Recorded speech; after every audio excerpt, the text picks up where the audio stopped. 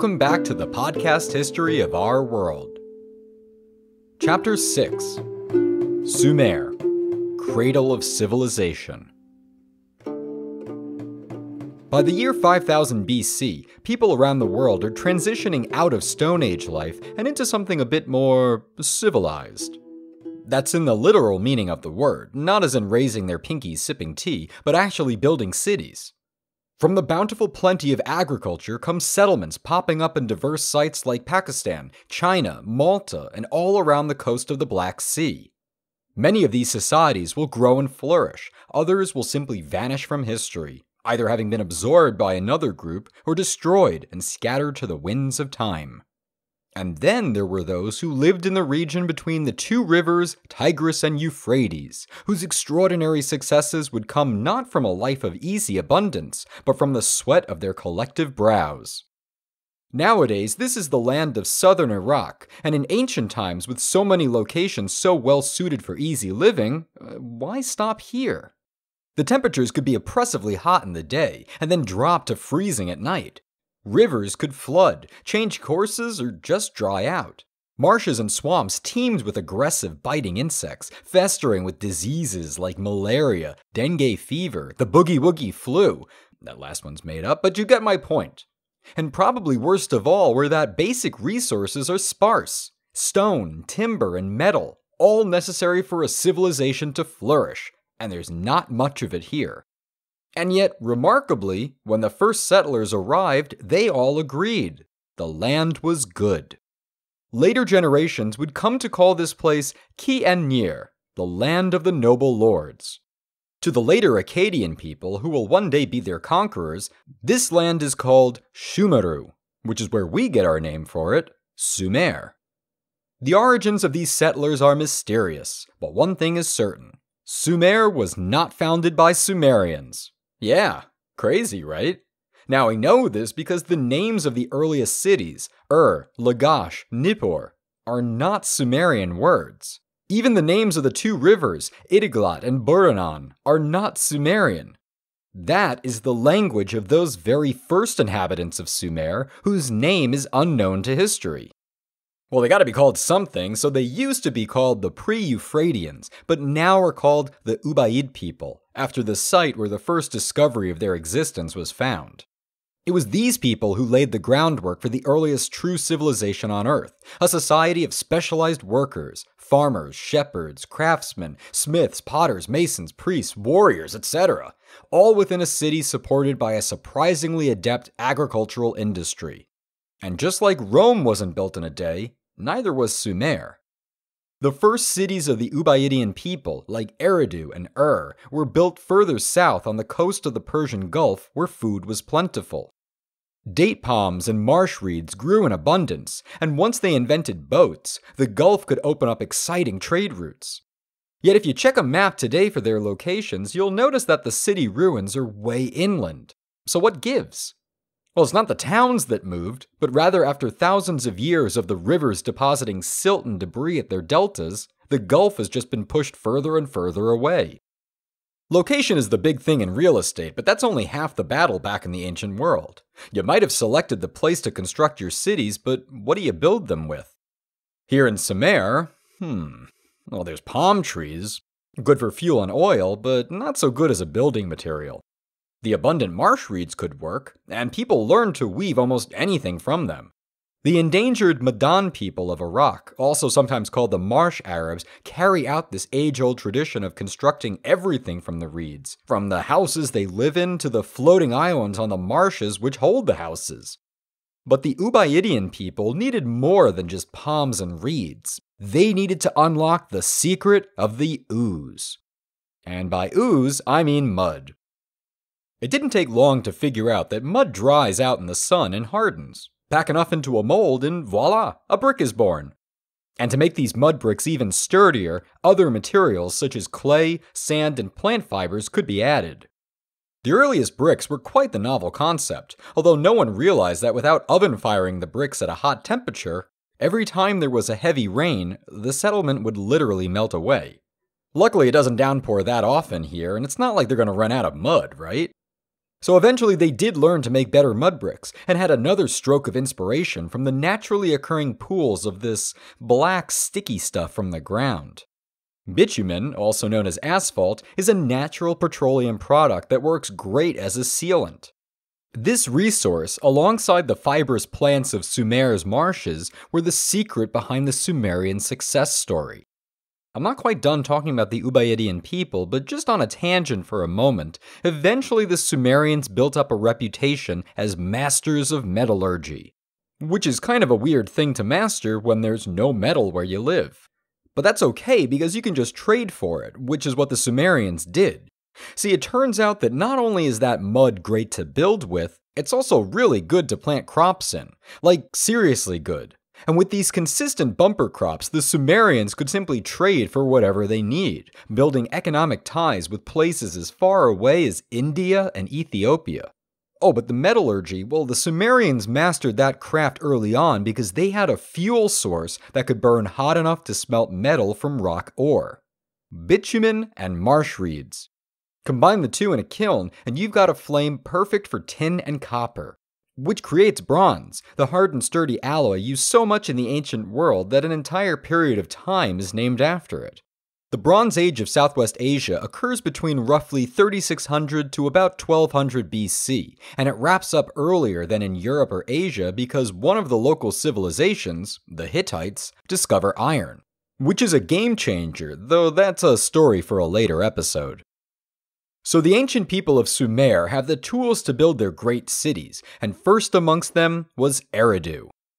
The city name translates to mighty place, which is a pretty good way to get residents to move in, but it's also a sacred religious center. Ea, the father of Marduk from chapter 1, lives here, and Inanna, the goddess of both love and war, makes sense when you think about it. Well, it's here that she learned the secrets of civilization to teach her followers. Education would be a cornerstone of Eridu, as the city was a place of learning and spirituality for thousands of years after its founding, even when the Babylonians eventually take over. Eridu, like most other Sumerian cities, began as a farming settlement, its citizens concerned only with the upkeep of the irrigation canals and with producing as much food as possible. The successes of those hardworking citizens caught the attention of various Semitic peoples from the Arabian Peninsula around 4500 BC who brought their tradition of sheep and goat herding to the city. This does not appear to have been an unwelcome arrival, and they mingled peacefully through intermarriage and cultural assimilation until about 500 years later, the people we recognize as Sumerians first appear. And luckily for us, they were fond of drawing their own people, and so we have an idea of what they looked like through their artwork. Men are commonly depicted as bald and hairless, though sometimes with cylindrical beards of thick, coarse hair, and wearing nothing but a skirt of wool or plant fibers. Women dressed equally as simple, wearing a linen dress, shoulders uncovered, and hair pulled back into a bun. Sumerian ethnic fusion didn't just stop there, because its fortune continued to shine on Sumer, people from all over flocked to the cities, contributing their own various skills and learning to this triumph of civilization. There was so much intermingling, in fact, that Eridu is hypothesized as where the Tower of Babel, that legendary monument to man's hubris, might have existed probably wasn't as tall as they say it was, but if you recall the outcome of that tale, it's an explanation of why humans speak so many different languages. Could it be that this story began as an allegory to explain the many different tongues no doubt spoken in Eridu? Perhaps the story was spread by some xenophobic and bitter Ubaydian, a holdout from the old days, angry at the cosmopolitan face of what used to be his city, I'm just thinking out loud here, but there actually is a Babel myth in Sumerian folklore concerning a king of Uruk wishing to build a massive tower in Eridu for the purposes of creating one unified language from all the bordering states of Sumer. There probably was never a giant tower that was cast down, but there were the tiered pyramidal structures of the Sumerians and Babylonians, the ziggurats. Maybe one was built bigger than the rest and the whole thing collapsed in an earthquake or something. Who knows? Now, anyone who's ever played a simulation game like Sim City knows that if you had the chance to carefully plan the construction of a city, you'd put careful thought into road placement, zoning, and all the other details. The cities of ancient Sumer, on the other hand, just kind of evolved naturally. Houses and shops were built outside of farms and canals, and then came the large temple complexes with courtyards, living quarters for priests, workshops, specialized farms, and shrines to the gods, and, of course, the imposing ziggurats. Each Sumerian city had a ruling god where he or she also lived. This isn't the same as a patron god like with Athens and Athena. Oh no, the Sumerian gods literally dwelled in, ruled, and protected the city from harm. Good harvests and blessed unions were granted, provided the proper sacrifices and offerings were made. Nothing too weird here. The gods preferred food and beer. I mean, who wouldn't, right? But not just any food and beer would cut it. Anything that was offered to the gods needed to be not only blessed by the priests, but also grown, raised, or brewed by the priests too. There's like a whole other dimension to keeping kosher. And since the priests were the only ones who could understand the whims and wishes of the heavens, they naturally had substantial power and authority over the citizenry. It's sort of a Bronze Age theocracy, but it isn't so much about priests hoarding power, but instead them acting as supervisors, overseeing the most important part of Sumerian life farming. Under their edicts, priests could decide how much food could be distributed against how much to store in the granaries. If the irrigation canals needed maintenance or expansion and no extra labor was available, they had the power to draft citizens for labor. Or enslave, whichever word you feel more comfortable with. And while rounding up independent citizens for mandatory menial work might sound harsh, if the irrigation canals failed, no one eats. So, yeah, the priest didn't have any qualms about doing this. Now, it used to be that historians thought the priests owned the majority of city territory and would rent out the land for its use and enslave anyone who failed to make payments. But newly translated tablets don't seem to support this anymore. If anything, most of the land was privately owned for those citizens to use it or lease it out as they wished. The absence of any recorded revolts or riots against this corporate theocracy may very well indicate that people were quite content with their religious society and leaders. Good thing for the priest class. And in their vital role dealing with food distribution and management, it is believed that around 3500 BC, the Sumerian priest classes invented writing. Necessity being the mother of invention, of course, well, keeping track of all this food would be nearly impossible without some kind of recording system. Ah, but you see, that can mean so many different things.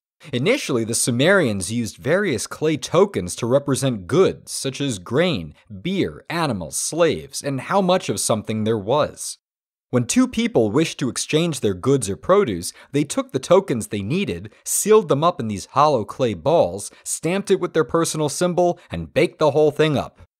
In essence, it's a signed contract without the need for literacy. Well, but maybe you think that Namkazu, the date farmer, stiffed you on the sale, but you can't prove it without breaking the ball open, which would void the contract. Easy solution, the Sumerians say. Just start pressing the images of whatever tokens are inside onto the surface of the ball. That way you know exactly what's inside without needing to break it open. Yeah, are you seeing it too?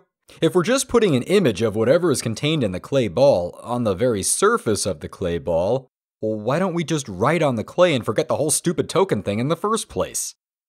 The very first written tablets featured pictograms, symbols that look like the object they represent. Boats, water, and animals are just a few of the featured images in this early system, and it worked for a while, although having to draw every thought you wish to express takes a lot of time and skill.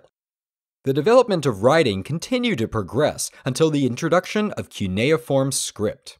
This wedge shaped writing style was pioneered by the Sumerians, who would take a wedge shaped stylus and press it into wet clay for a faster, more efficient way to record their thoughts which were not particularly deep thoughts, at least not yet.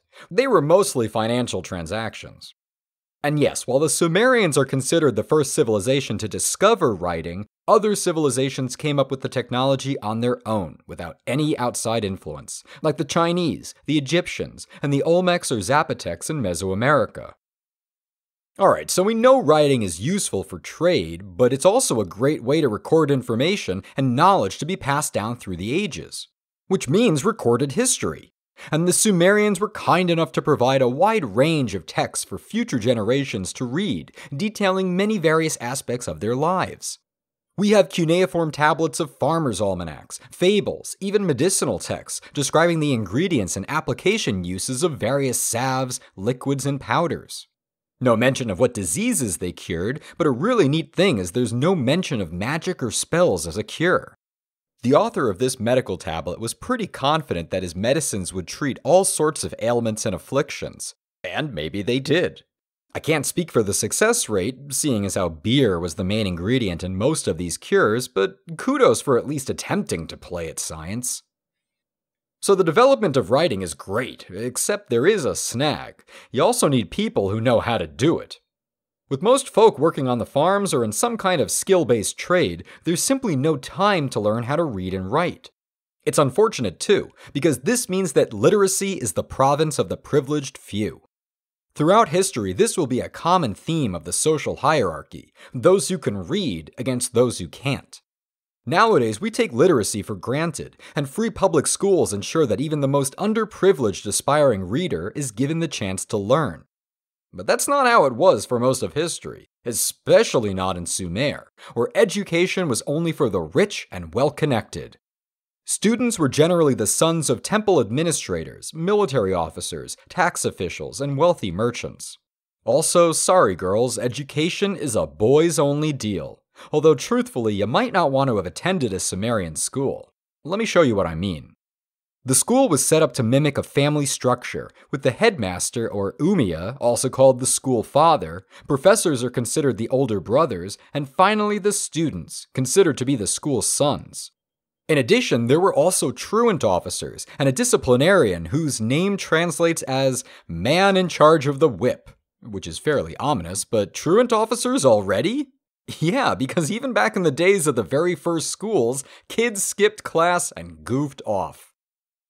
Curriculum was divided into three fields of study math, science, and writing. At this time, the Sumerians finally learned other uses for writing, like poetry, but also made a point to teach biology, geography, and the earth sciences. Sumerian math was based on a sexagesimal numerical system, where 60 is the base number. It dealt primarily with arithmetic and geometry until the introduction of the more advanced teachings of Babylonian mathematicians. The sexagesimal system, by the way, carries over today in certain forms, like how there are 60 seconds in a minute, 60 minutes in an hour, 360 degrees in a circle, and so on. Now, the reason I can tell you all this oddly specific information about the Sumerian educational system is that many tablets survive to this day. We even know about student life from tablets found from around 2000 BC, recorded by a Sumerian teacher. He writes about this one student who starts his day late, rushing his mother to pack a lunch, two bread rolls, and panics about getting to class on time. He expresses dread about being late, and I quote, lest his teacher cane him. Apparently, this boy has received quite a bit of corporal punishment already for being disruptive and for doing poorly in class. It turns out that his penmanship, or wedge stylusmanship, is not that good, and his teacher tries his best to encourage the young pupil, writing, Be industrious in the scribal art, and it will provide you with wealth and abundance. Work hard for it, and it will reveal to you its beautiful prosperity. It's something teachers say to this very day. Stay in school, study hard, and when you grow up, you'll have a nice paying job. Of course, this kid didn't know anything about the joys of student loans and collection agencies, but I digress. The story of this unmotivated student continues on. Now he's really worried about his grades, so he talks to his dad about a solution. Instead of planning to study more and put nose to grindstone, they invite the teacher over for a delicious dinner, and at the opportune moment present him with new clothing and a shiny new ring. Oh, how'd those get there? In case you're wondering, teacher pay was as modest back then as it is today, and maybe even more so because the teacher is moved by this bribe, uh, I mean, display of generosity. He speaks. Young man, because you did not neglect my word, did not forsake it, may you reach the pinnacle of the scribal art. May you achieve it completely. Because you gave me that which you were by no means obliged to give, you presented me with a gift over and above my earnings, and have shown me great honor. Of your brothers, may you be their leader. Of your companions, may you be their chief. and may you rank the highest of all the schoolboys. Well, kid, I used to think you were a deadbeat and a slacker, but it turns out I really like this ring. You get an A. plus. Obviously, this wouldn't go over so well in modern society, but it doesn't seem like this teacher was viewed as corrupt or this was an isolated incident, because this story has been found on at least 21 separate tablets. Maybe spread by ancient helicopter parents looking for ways to cozy up to their son's teacher? Well, still, it's a fascinating glimpse into an ancient society. Alright, we've seen Sumerian technological achievements, city planning, and now education. Ingredients for a decent civilization, although there's gonna be a need for some law and order. We talked a bit about how the priest class ran the city in sort of an overseer way, although they were not the only ones. The Sumerians are also notable for having a sort of proto republic of sorts. In times of crisis, typically war, a bicameral Congress would be convened, where the upper house was made of those too old to fight, and the lower house made of male citizens able to bear arms. They'd argue their points back and forth about whatever topic of discussion before an appointed war chief, called a lugal, translated as the big man, would then decide what to do. The lugal was originally quite similar to the Roman concept of a dictator, Someone who is invested with supreme power to deal with a national emergency and then expected to surrender that power once the problem is over. well, uh, you can imagine that one of these Lugals must have gotten the idea to just not give up that power, and no one seemed to mind too much. In this way, the cities of Sumer shifted towards monarchy, where the kingship would be centered around a specific city state until another city state rose in power to make a bid for the throne, and then they'd have it for a certain length of time. That's all very Game of Thronesy, and we're very fortunate that the history of this struggle survives in the form of the Sumerian King List, a massive collection of the names, dates, and accomplishments of their numerous leaders. Though not all of it has survived, and not all of it makes sense, there is still plenty to form a pretty comprehensive story of a region that rarely knew peace. In the earliest days of Sumer, there were five cities Eridu, Bad Tabira, Larak, Sippar, and Shuruppak. More cities would arise, like Umma and Uruk, but for now, those five cities and the eight kings that called them home would all vie for dominance over a grand total of 385,000 years. Uh, just humor me here. Eridu is first ruled by Alulim. When it's Bad Tabira's turn to take power, their king is named Dumuzid, also called Dumutzi or Tammuz the Shepherd, who rules for 36,000 years.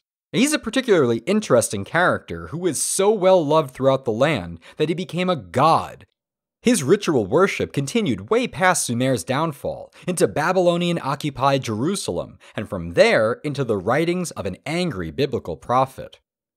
To understand just how a mythical Sumerian king ended up a blasphemous pagan deity in the Old Testament, let's look at his backstory and how a justifiably livid wife sealed his fate. As a mortal, Dumutzi was able to court and marry Inanna, the love and war goddess. Their magical union fertilized the land, and food grew plentiful, and there was much rejoicing. Content with things on Earth, Inanna went to visit the Netherworld to see her older sister, Ereshkigal, Queen of the Dead. Well, she didn't really want to, but rather Inanna wanted to see if she could learn the secrets of the underworld from her sister, although getting to her was a fair challenge in its own right. To reach Ereshkigal's throne room, one must pass through seven gates of diminishing size, which required the visitor to remove their jewelry and clothing. When Inanna finally reached her sister, crawling out of the tiny seventh gate, it was on her hands and knees, naked. Humiliated, Inanna calls for her sister to meet her where she stands, so as to not expose herself further. Ereshkigal rises and walks over to her, but aha! Inanna races past her sister and quickly jumps on the throne, hoping to absorb its power. Instead, the Anunnaki, the seven judges of the underworld, appeared, screaming at her with an otherworldly fury, for Inanna had violated the rules of the underworld. Their judgment was swift, and in unison they locked eyes upon her, gazing at her body with a horrifying glare until their magic had turned Inanna into a corpse, and she was hung off a hook. All was not lost for the goddess, for she had warned her servant Ninshubur that if she did not return in three days, to send for help. Ninshubur convinced Ea to resurrect her by sending down two creatures with the food and drink of life. This worked, and Inanna was no longer a corpse, but she was still bound by the laws of the underworld. She had died in the realm of the dead. The only way she could leave was if someone took her place. Inanna was granted a temporary leave to return to Sumer, escorted by demons, to find someone willing to take her place. She first pleaded with the gods of Umma and Bad Tabira, but they beg her not to take them from their homes. She is moved by their requests and agrees to spare them.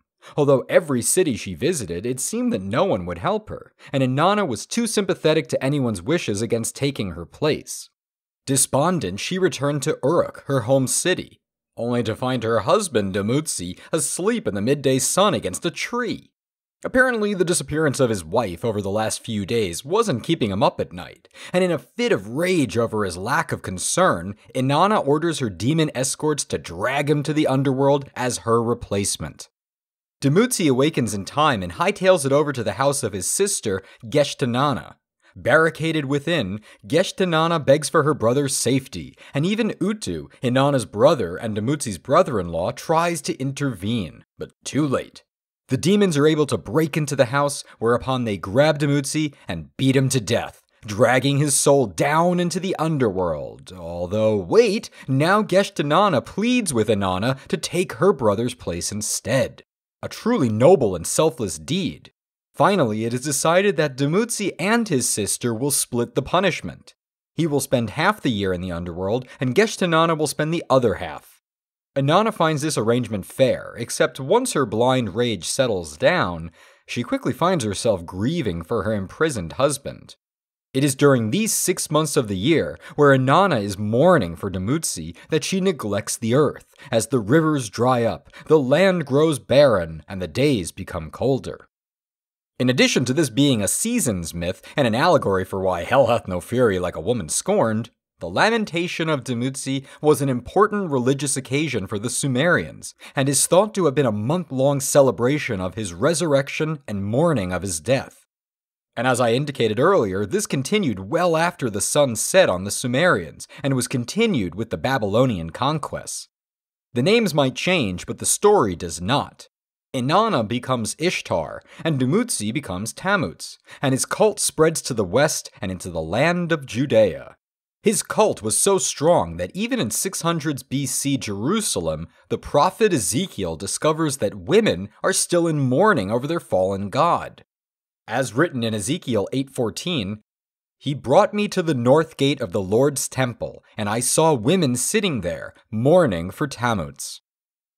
Well, regardless if it's Tammuz or Dumutzi, he lives on today, his name is given to the fourth month of the Hebrew calendar, which was adopted from the Babylonian calendar. Does it seem strange that an ancient pagan god is on a strictly monotheistic religion's calendar? Well, what are Mars, Janus, Odin, Freya, and other Roman and Norse gods and goddesses doing on the Gregorian calendar? It's just hard to shake off some traditions. The first eight rulers on the Sumerian king list are known as the antediluvian kings, with Ubaratutu, king of Shuruppak, being the last before the Great Flood.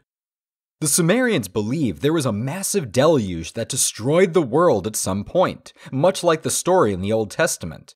And just like Noah, a man named Utnapishtim is given plans to build an ark of his own by Ea and told to take two of every animal and load them up. Is this sounding familiar? Once this flood receded and mankind recovered, Kish becomes the first of the post flood city states to take power, and the name of its first king is Gishur, who ruled for 1200 years.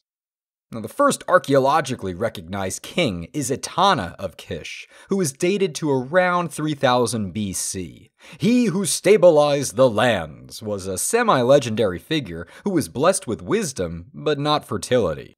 He sought out a magical plant that provided him with a son, uh, somehow, named Enmebaragesi, who waged a successful war against the Elamites to the east. Further down the list, Aga of Kish is defeated by Meski Angesher of Uruk, he who entered the seas and ascended the mountains. His son, Enmerkar, further built up Uruk and subjugated Aratta, a city state that is yet to be discovered by archaeologists. Enmerkar's companion in arms is named Lugalbanda, who is granted super speed by a lion headed Anzu bird, and by 2400 BC has been deified after marrying Ninsun, a goddess of health and healing. Lugalbanda's great and all, but he's a pipsqueak compared to the awesome splendor that is his son, the greatest of the Sumerian kings. How great is he? Why, he's so great that he gets his very own episode. And that means next time we'll take a pause from the history to hear the world's oldest epic story. This is a disjointed, broken tale from fractured tablets and fragmented sentences that was made mostly complete by dedicated scholars. What survives is a tale of an arrogant hero made humble by the bonds of friendship, high adventure, daring encounters with the gods, and a quest to acquire the one thing all mortals desire but will never have a chance at immortality. A tale this epic needs to truly live up to the name, and so I am joined by my history podcaster friends to do it justice. So if you're ready for an exciting adventure with fearsome monsters, amorous goddesses, hairy beastmen, and so much more, well, grab a flagon of ale and a haunch of mutton and settle in for the Epic of Gilgamesh on the podcast history of our world.